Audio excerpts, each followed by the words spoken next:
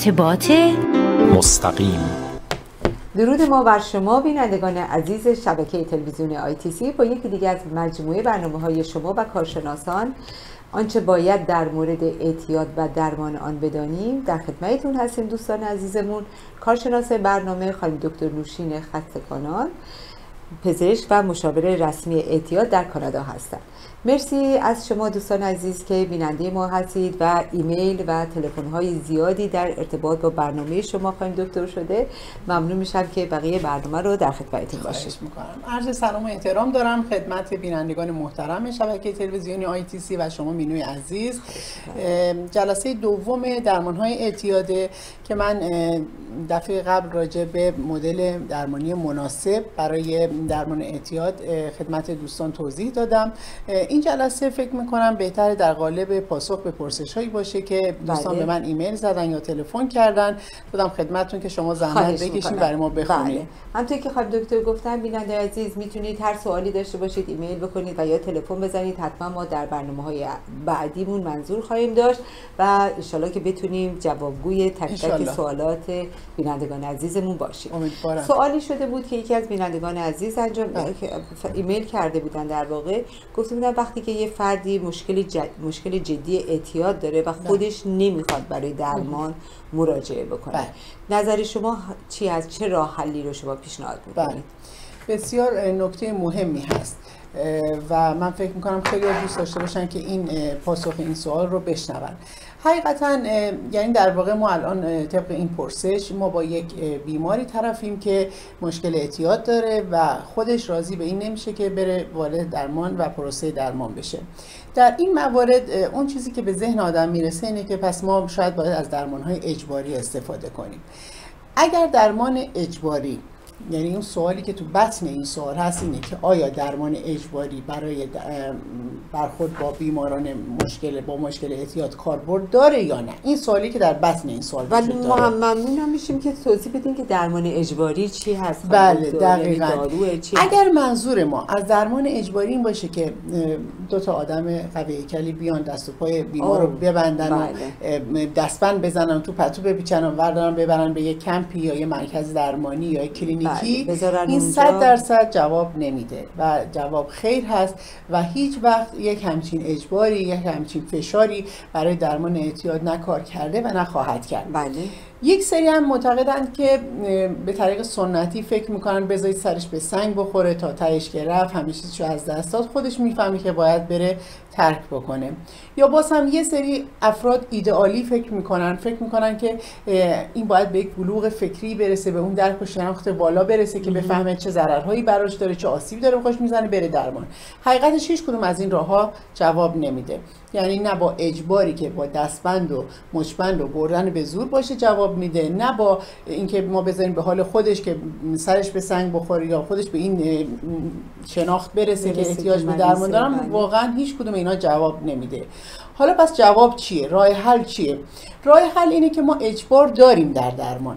اتفاقا خیلی هم موثره ولی اجباری که فکر کنید مثلا با تهدید یا حکم دادگاه باشه که بهش بگه یا باید بری درمان کنی یا شش ماه بری زندان. یا باید بری درمان کنی یا حق قیمومیت بچه تو از دست میدی یا از تو از دست میدی بله یا. از طرف کارفرما باشه یا از طرف همسر باشه که بگه من از جدا میشم یا والدین باشن که نکن هزینه اون فرد رو تامین بکنن ولی اون چیزی که بسیار مهمه اینه که تمام این فشارهایی که از بیرون داره میاد و برای فرد داره حد و حدودی رو مشخص می‌کنه که یا باید بری درمان یا به این عواقب تن بدی خیلی مهمه که اینا حتما با نظر و همفکری یک مشاور و یک درمانگر انجام بشه بله. یعنی بسیار کنترل شده بسیار دقیق تحت آموزش یک درمانگر باید خانواده در جریان قرار بگیره که چجوری می‌تونه این مسائل رو مطرح بکنه تا فرد رو در این دوراهی قرار قرار بده که یا باید عواقبش رو بپذیره که به اعتیادش ادامه بده یا به درمان مراجعه کنه. شاید به نظر بیاد که این یه انگیزه بیرونیه ولی اتفاقا خیلی از موارد این انگیزه بیرونی بهانه میشه برای اینکه اون فرد اون رو درونی می‌کنه. یعنی تبدیل به خود انگیزه شخصی فرد هم میشه. چقدر جالب. یعنی اگر تحت فشار خانواده و یا همسر و یا مسائل کاری بله. قرار بگیره فشارهای کنترل شده با بله، از بیرونی می‌تونه در واقع انگیزه انگیزه درونی شخصی بشه, بله. شما باور نمی‌کنید خیلی مواقع بیمارایی که تو کلینیک من مراجعه می‌کردن من می‌دونستم یا بعدا متوجه می‌شدم که اینا با اصرار و فشار خانواده یا کارفرماشون اومدن ولی 99 درصدشون وقتی که جلوی ما مینشستن می‌گفتن که می- میپرسیدن برای چی اومدین کلینیک برای درمان می‌گفتن دیگه خسته خسته شدم شدم. دیگه می‌خوام بذارم کنار یعنی یه جورایی حتی اگه درصدی از این هم دروغ باشه. درصد بیشترش حقیقته یعنی واقعا اون انگیزه بیرونی یه جورایی انگیزه درونی میشه و اونا انگار که منتظر یک بهانه ای که اینا رو پوش بکنه به سمت اینکه وارد درمان بشن هیچ گونه دارویی وجود نداره که یک زمینه اولیه تغییرات شخصیتی یا همون تصمیمات شخصی رو ایجاد بکنه نه نه یعنی ما با یه دارو نمی‌تونیم. برای کسی بله. انگیزه ایجاد بکنیم بله. به هیچ وجه همچین چیزی نمیشه. نمیشه. نه بله. نمیشه. بله.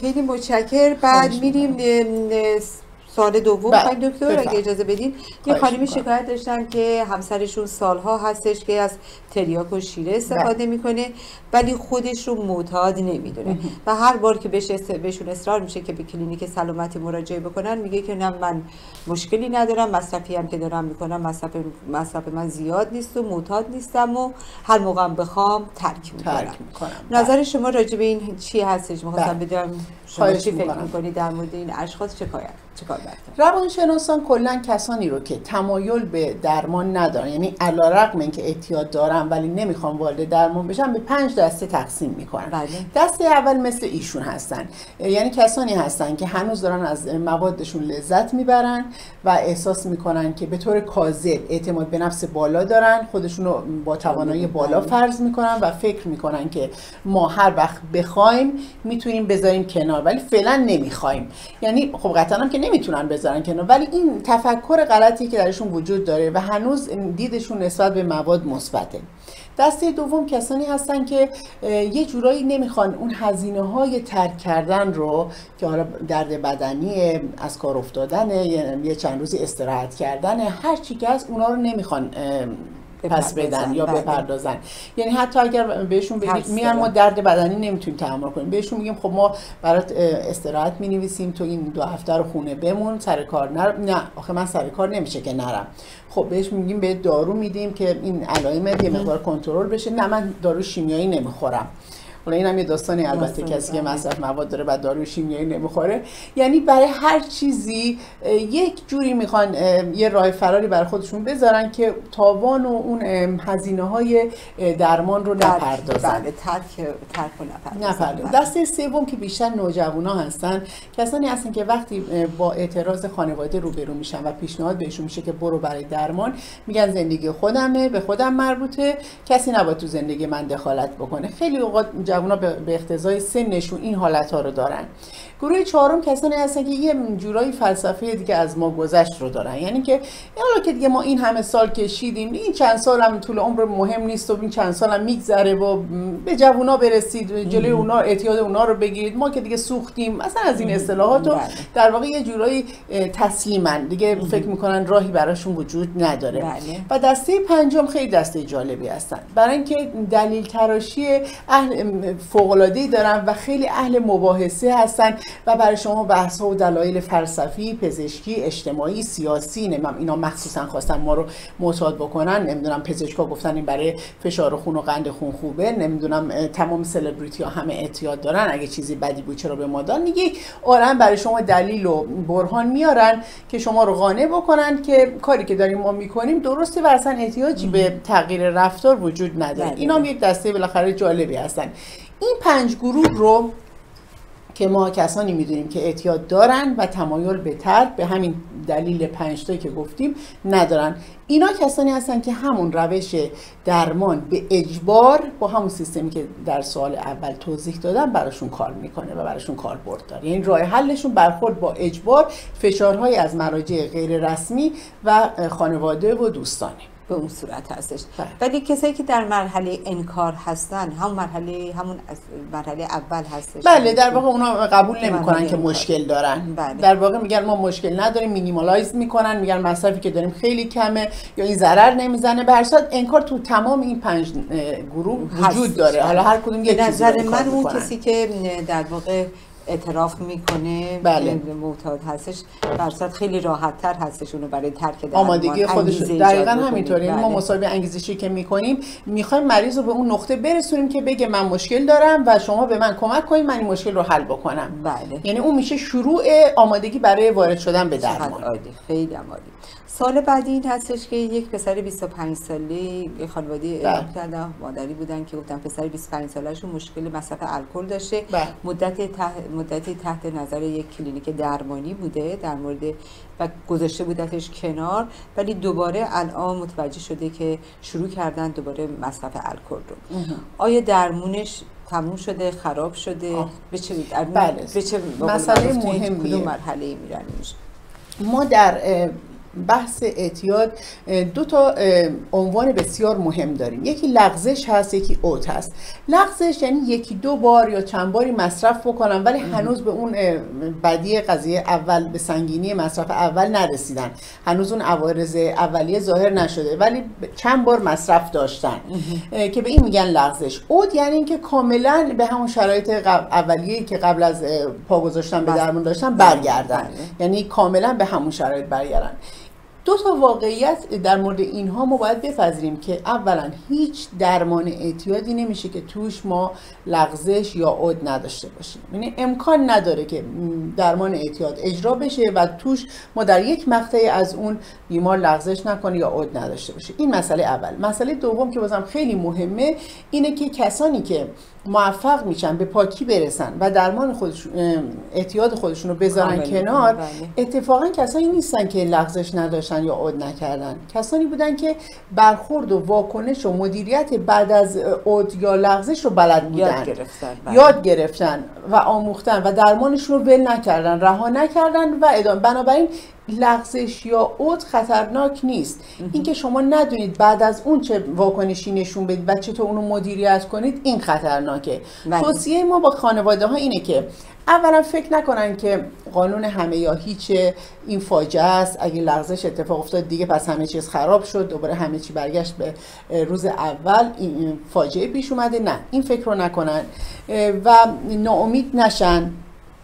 و از سر کوفت زدن تحقیر کردن سرزنش کردن اون فرد حتما بپرهیزن چون این دیگه قطعی می‌کنه اون وقت اینکه برگردن دوباره به نقطه اول و, و درمان خراب بشه و تا اونجایی که میشه اولا در اول خود مشاور بعدا خانواده مجابش کنن فرد رو که بعد از لغزش هم حتما به مشاورش مراجعه کنه مشاورش رو در جریان لغزشش قرار بده و به درمانش ادامه بده. کاری هم که ما به عنوان درمانگر می‌کنیم. بعد از اینکه فرد مراجعه ما به ما گزارش از لغزشش داد میایم روی احساسات و افکارش قبل و بعد از مصرفش یا لغزشش صحبت می‌کنیم اونو آنالیز می‌کنیم و می‌بینیم که چه عاملی باعث شده که این فرد دچار لغزش بشه که برای بار دوم دیگه اون اشتباه پیش نیاد یا برای دفعات بعدی جلوگیری بشه. و مهمترین تداخلی که ما اینجا داریم با این هستش که ما بخوایم فرد رو یعنی درمانگرم بیاد فرد رو سرزنش بکنه. یعنی این دیگه یعنی تخریب کامل, کامل درمان. درمان.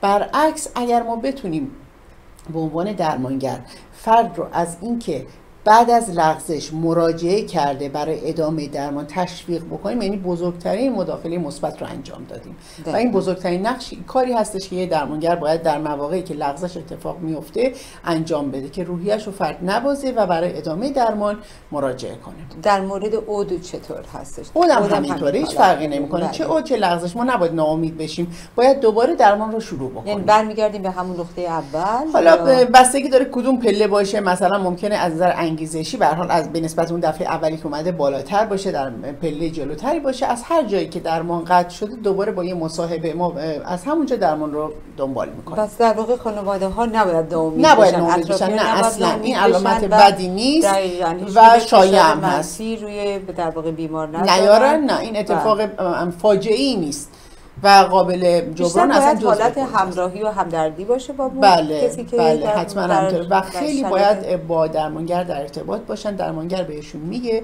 در قسمت درمان خانواده ما صحبت می‌کنیم که در واقع برخوردشون با فرد معتاد در دوره پروسه درمانشون. وقتی که تو خونه هستن باید چجوری باشه؟ بله خیلی متشکر از. توضیحاتتون. یه آقایی که خودشون مصرف کننده مواد بله. هستن می‌پرسن که درمانگری که خودش تجربه مصرف مواد رو نداره و بله. نشگی رو نمی‌دونه و خماری چی هستش چجور می‌تونه شرایط یک چنین آدمی رو که در واقع اون حالات و احساسات رو داره و نشگی رو داره درک بکنه و بخواد که درمان بکنه بله. سوال جالبی بود که گفتیم مطرح این سوال. خیلی اوقات خود مریضا مستقیم از من پرسیدن مثلا دکتر شما خودت تا حالا مصرف کردی اصلا می‌دونی نشگی چیه اصلا تا حالا خمار شدی تو اصلا می‌دونی این یعنی بعد وقتی که ما میگیم خب نه من مثلا هان دیگه ندید نه استفاده نکردی دیگه نمی‌دونی دردش چیه. نمی‌دونی حالش بله. چیه ولی واقعیتش اینه که جوابش رو استاد ما جناب آقای دکتر مکری خیلی قشنگ به ما توجیه کردن که این جواب شما به بیماراتون بدید بله.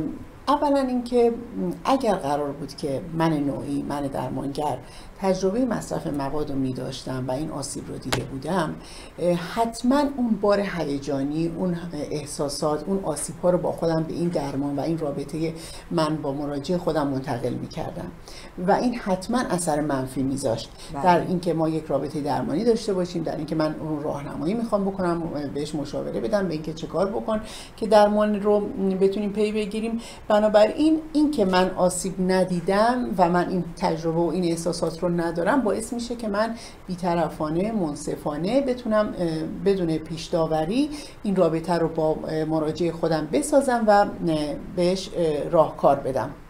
بله. دوم اینکه مسئله همون جمله که من دفعه پیشم عرض کردم خدمتون. مسئله اعتیاد فقط مسئله ماده و مصرف و مخ... نشگی و خماری نیست که ما الزام داشته باشیم بدونیم اون دقیقا چیه. بله. مشکل اعتیاد شاید خیلی عمیقتر از این هاست. در واقع یک نوعی از عدم اتصال عاطفی هست. ببینید مشکل اینجاست.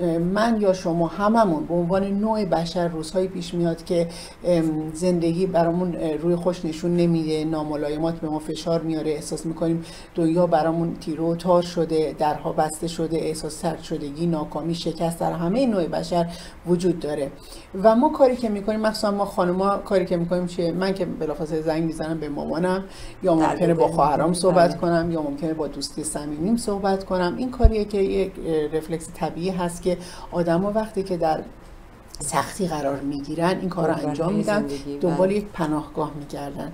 یه جایی که بتونن دردشون و ناراحتیشون رو خالی کنن تخلیه کنن و آرامش بگیرن ساپورت بگیرن برگردن. یه پناهگاه روحی می‌خوان. اگه از افراد معتاد بپرسید که شما وقتی که شکست بخورید یا احساس ناکامی می‌کنید چه کار می‌کنید؟ جواب یه چیزه مصرف مواد. اونها اتصال عاطفی ندارن. ندارن، مشکل بله. اصلی اینجا اینه. اونا ارتباطی که باید با انسان ها داشته باشن با یک ماده دارن. و این مشکل و من منظور من از این جالبی. رو اشاره. کردید خواهیم دکتر که این اتصال عاطفی به جای اینکه با شخص و انسان باشه با مواد ایجاد با. مواد و من جواب این آقا بله. رو که میگه شما که تجربه مصرف مواد نداشتی چه جوری میخوایی درمان بکنی اینجوری باید بدم که ما تجربه مصرف مواد رو نداشتیم ولی مسئله اعتیاد مسئله قسمت اتصال عاطفی و راه حل پیدا کردن برای احساس شکست و طرد شدگی این چیزی که ما همه تجربه کردیم بله. ما همه احساس شکست کردیم همه احساس ناکامی کردیم. بنابراین این چیزیه که ما احتیاج داشتیم بدونیم تا بتونیم مریضمون رو درک کنیم و اینو ما همه تجربه کردیم. دقیقا. بیشتر همون در واقع مشکلات عاطفی شخص هستش که نمی‌دونه در وقتی که تحت تاثیر بحران های زندگیش قرار می‌گیره اون شرایط های عاطفی ساپورت کننده رو نداره و به قول شما اه، راه حلی رو که انتخاب میشه یک راه حل بسیار اشتباهی هستش. بله. بله. بعدش خانم دکتر سوالات زیادی مطرح شده. با توجه به اینه که من فکر می‌کنم که برای اینکه یه جنبندی داشته باشیم برای آخر برنامه. یه سوال من می‌تونم جواب بدم یا نه؟ فرصت نداریم. سوال چهارم می‌تونم جواب بدم؟ البته خب پس اجازه بدیم من جنبندی کنم شما یه جنبندی چون میترسم به جواب بعدی نرسیم. بله. بله. سوال پس من می‌تونم مطرح بکنم؟ نه نه اجازه بدیم پس من یه جنبندی کلی بکنم. درمان های اعتیاد رو ارزم به حضور شما. از جلسه پیش و امروز بله. دوتا رو با هم جنبندی بکنم ارزم به حضور شما ما بازم تاکید می‌کنیم خانواده های محترم اگر می‌خوان عزیزانشون رو برای درمان به کلینیکی ببرن دقت بکنن که اون مواردی که عرض کردیم خدمتتون اون موارد توش لحاظ نشه. یعنی اون موارد اون مشکلات وجود نداشته باشه. یعنی اینکه خانواده انتظار نداشته باشن پزشک به عنوان دلال رفتار کنه پزشک به عنوان خبرچین صحبت ها رو بهشون منتقل بکنه. خطای لباس ماشین لباسشویی وجود نداشته باشه. فکر نکنن که فقط باید بره اعتیادش رو ترک کنه و برگرده. این فرد باید از جنبه های مختلف رشد بکنه. اتفاقا دیده شده وقتی که شما می‌خواد یک عادت مضر رو یا اعتیاد رو بذارید کنار وقتی که جنبه دیگری رو رشد بدید هنر بله. دیگه مهارت دیگه رو کسب بکنید اتفاقا خیلی بهتر نتیجه می‌گیرید. بنابراین ما از خانواده ها می‌خوایم که ضمن اینکه نخوان که به عنوان واسط هم پزشک عمل کنه صحبت اینو به اون برسونه صحبت اینو به اون برسونه در نتیجه نهایتا به مشاورشون اعتماد بکنن و اجازه بدن که روند اعتیاد پروسه درمان به صورت درمان اعتیاد به صورت درست و عملی و کاربردی پیش بره. متشکرم. بله. خیلی متشکرم بینندای عزیز. ممنون میشیم که هر گونه نقطه نظری دارید سوالی دارید پیشنهادی دارید. حتما با شماره تلفن خانم دکتر و یا به ایمیل ایشون شما می‌تونید سوالاتتون رو بفرستید. و این برنامه ها رو هر هفته چهارشنبه ها نه شب در خدمتتون هستیم و بازپخش اون رو شنبه ها هشت و نیم شب. ممنون از اینکه بیننده برنامه ما هستید. شما رو به خدا میسپاریم تا هفته بعد. خدا نگهدارتون. شاد باش